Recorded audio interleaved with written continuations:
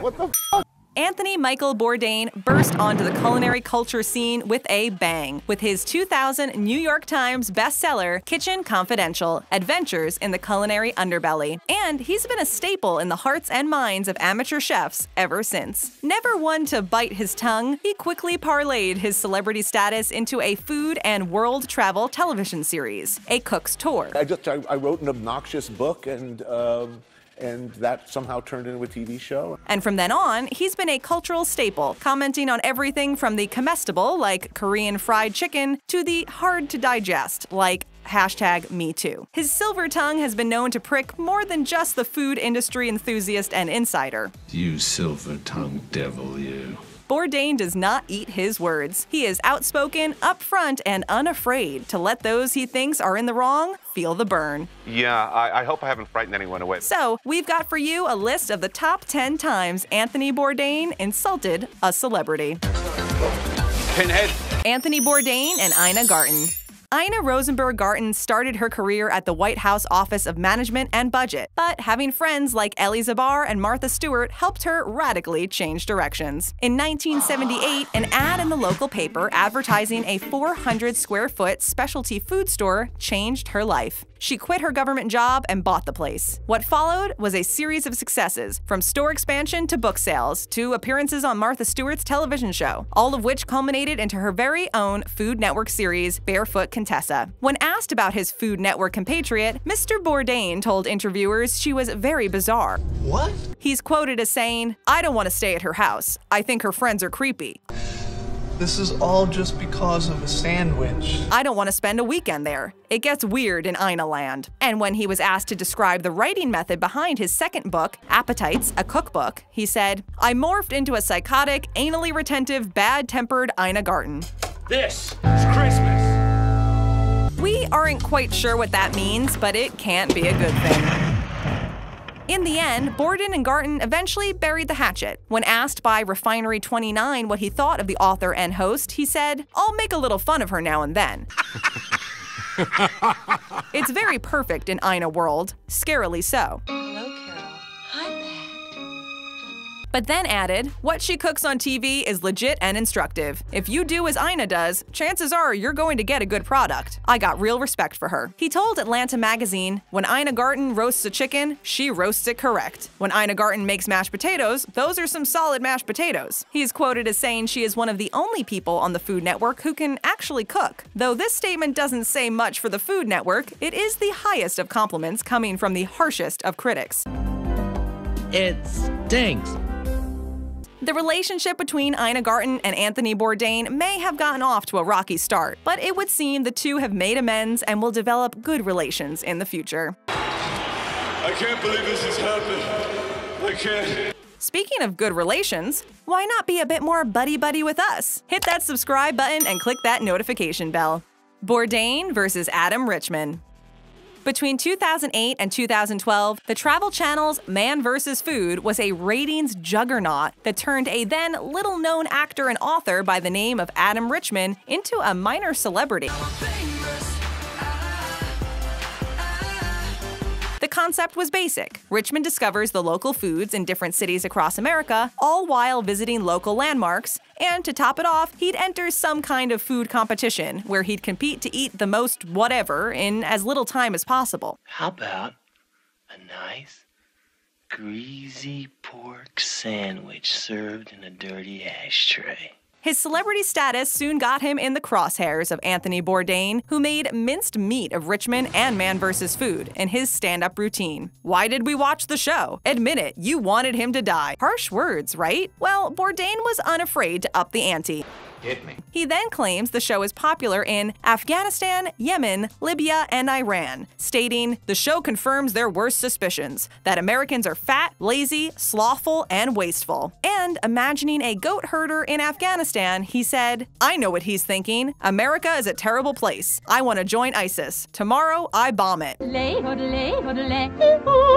Yikes. Richman tried to take it all in stride, though. He claimed in an interview with Observer.com that Tony is actually a friend of mine and I talked to him about it. I was like, You threw me under the bus. You can just drop fing dead. I understand the need for a good line, but I hope that his want of a good friend is greater than that, and he made it clear that it was. I'm gonna use the cushion. Yeah. Anthony Bourdain against the Food Network. Though the Food Network is arguably what introduced the wider world to Bourdain, Anthony has, in the years since the debut of his first hit television series A Cook's Tour, shown signs of having very little love for the brand and its members. Bourdain claims that in 2007, the network took a calculated break with the idea of the celebrity chef as a seasoned professional and a move toward an entirely new definition a personality with a saute pan. Bourdain was not through panning the network for its lack of substance and pandering to celebrity culture. In fact, that was just the beginning. He defines the network as a programming outrage and defines its modern lineup as a sad and pandering example of rehashed leftovers. The humiliating, painful to watch Food Network Awards, the clumsily rigged looking Next Food Network star, the cheesily cheap jack production values of Next Iron Chef America, every obviously half assed knockoff they slapped on the air would go on to ring up sky high ratings and an ever larger audience of cherished males 22 to 36, or whatever that prime car buying demographic is. Dude, where's my car? Where's your car, dude? It would seem Bourdain is just as disappointed in a network that would choose to invest in these retreads as he is in a world that would elevate such malarkey to a successful status. Such things, rightly or wrongly, send me into a, a spiral of misery and depression that lasted three days. He said, The eye searing Kwanzaa cake clip on YouTube of Sandra Lee doing things with store bought angel food cake, canned frosting, and corn nuts, instead of simply being the unintentionally hilarious viral video it should be, makes me mad for all humanity. Now for the icing. I just can't help it. And just to make it clear that the network puts no value in its own representation, I've even been called Macaroni Monet. Bourdain had this to say about the Food Network Awards. The production itself, above and beyond the witless, ill considered, just plain stupid concept of an awards show, where most of the awards went to the inanimate objects, accepting the award for Best Comfort Food is macaroni and cheese. A round of applause for this inanimate carbon rod. Appliances, or cities. Portland's mayor wisely did not bother to show. The production values were lower than whale shit. And that, dear friends, is how you burn a food network. Burn! Bourdain and Alice Waters. Alice Waters is a chef, activist, and author whose hard work is helping to bring the United States towards a healthy, fresh, non industrial, and self sustained small scale vision of food and farming. Her stance against the fast food nation and cookie cutter TV dinners has been commended by the likes of the Obamas. And her attempts, which began in 1996, at reforming American lunches in schools across the nation, along with her battle against the USDA's corporate squelching of all things healthy in service of private bottom lines, are going on to this day. Her accomplishments are myriad, and her influence on America is evidenced in our relationship with food to this very day. So it came as a disappointment to many fans when Anthony Bourdain decided to take the public cleaver to her and stating, Alice Waters annoys the living shit out of me. We're all in the middle of a recession, like we're all going to start buying expensive organic food and running to the green market. There's something very Khmer Rouge about Alice Waters that has become unrealistic. I'm suspicious of orthodoxy, the kind of orthodoxy when it comes to what you put in your mouth. It was a disappointment, but it was no surprise. Now, whether it was the sense of ensuing public backlash or actual remorse from having pointed his critical finger in an undeserving direction, Bourdain did try to explain a little further and what many consider the closest thing to a backpedal we're likely to ever see from him. I don't have any burning issue with Alice Waters, a restaurateur and a visionary whose accomplishments clearly dwarf my own. In a perfect, candy colored world, I'd like to eat most of what she'd like to see us eat. I feed my daughter mostly organic food whenever possible. My thoughts were a heartfelt reaction to her wildly hubristic letter to the then president elect, a document whose tone, timing, and content I found distasteful, particularly coming from someone who hadn't even bothered to vote in the four previous elections. Chez Panisse was inarguably a cradle of the food revolution. I respect Alice Waters' enormous contribution to changing the way we eat and cook today. No one can take that away from her, no one should try. But fear not, Bourdain purists, because if that felt a bit too too close to an apology, he offered a follow up comment to wash down the taste of such a glowing elegy. She says some stupid shit sometimes, and she is certainly free to call bullshit on me when I do the same. So, there you have it kind words with a soupçon of bite. Anthony Bourdain and Wolfgang Puck. Wolfgang Puck has been present in the hearts and minds of Hollywood, the glitterati, and their legions of followers since the early 1980s. One could argue that as a spiritual descendant of Julia Child, who first put cooking in the minds of every house of America, Puck is the man most responsible for ushering in the modern era of the celebrity chef. Madonna came with Michael Jackson, Tom with Nicole. The spotlight turned Wolfgang into a global brand. Bake your little cobblers in there. In fact, some might say he's the original celebrity chef. Bourdain, however, though a child of history, is more known for being a stubborn child than a reverent one. Damn you, vile woman! You've impeded my work since the day I escaped from your wretched womb. Bourdain told Playboy magazine, Listen, I'm not eating in his shitty pizza restaurants. I think it's bullshit and it breaks my heart to see him on QVC or whatever. You broke my heart. But the fact is, he paid his dues. He's an important guy. It's an Orson Welles thing. He made Citizen Kane, so it doesn't matter what he does after that. Upon hearing this, Puck replied, But does he have a successful restaurant? And there you have it two masters in their respective fields observing each other from a distance with respect, while both disappointed in the other's ultimate accomplishments. I am so sad. I am so very, very sad. Bourdain versus Guy Fieri. We all know Guy Fieri as a loudmouth, frosted tip, all American badass with a round belly, loud clothes, and a goatee. Now, what are you going to get? You're going to get big, bold taste and some funky flavors. So it's therefore of no shock to anybody that a guy like Guy might rub Anthony Bourdain the wrong way. In 2015, Bourdain said, I sort of feel in a heartfelt way for Guy. I wonder about him. He's 52 years old and still rolling around in a flame outfit. What does he do? How does Guy Fieri de-douche? But it's apparently all love from Bourdain's perspective. I have no hate in my heart for the guy. He doesn't make me angry. He's just low-hanging fruit. He's a rich and deep source of comedy. If one squints a little, with words like deep and rich, this could almost be seen as a compliment. When Fieri opened his American kitchen and bar in Times Square, Bourdain told interviewers he single-handedly turned the neighborhood into the Ed Hardy district, which I'm a little pissed off about. The two have yet to host a Food Network Awards show together together. Bourdain and the left, especially Bill Maher. Having elevated his status from that of a chef to that of a public persona, Bourdain's disdain occasionally reaches far beyond the realm of sustenance and its connoisseurs. When Trump was elected, he blamed the very people he considers his peers. He once told Reason, the utter contempt with which privileged Eastern liberals such as myself discuss red state, gun country, working class America as ridiculous and morons and rubes is largely responsible for the upswell of rage and contempt and desire to pull down the temple that we're seeing now. He then singled out Bill Maher as the worst of the smug, self congratulatory left. He's a classic example of the smirking, contemptuous, privileged guy who lives in a bubble. All right, I'm awesome. Let's get on with the show. And he is in no way looking to reach outside or even look outside of that bubble in an empathetic way. Preaching to the converted doesn't change anyone's opinions. It only solidifies them and makes things worse for all of us. Say what you want about Bourdain, but one thing is certain the man knows how to tend an olive branch, and that's with a twist. Anthony Bourdain and Paula Deen.